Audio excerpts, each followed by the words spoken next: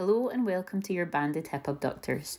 Start by placing a resistance band around your legs just above your knees while positioning yourself on your hands and knees in a tabletop position.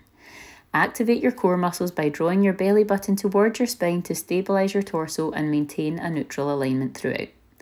Keep your hands under your shoulders and your knees under your hips.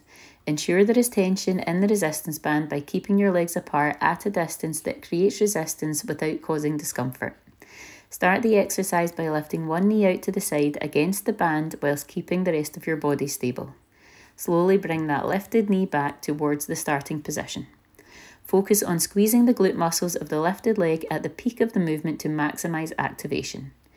Inhale as you bring the knee back towards you and exhale as you lift your knee out to the side. Try to maintain this breathing pattern throughout.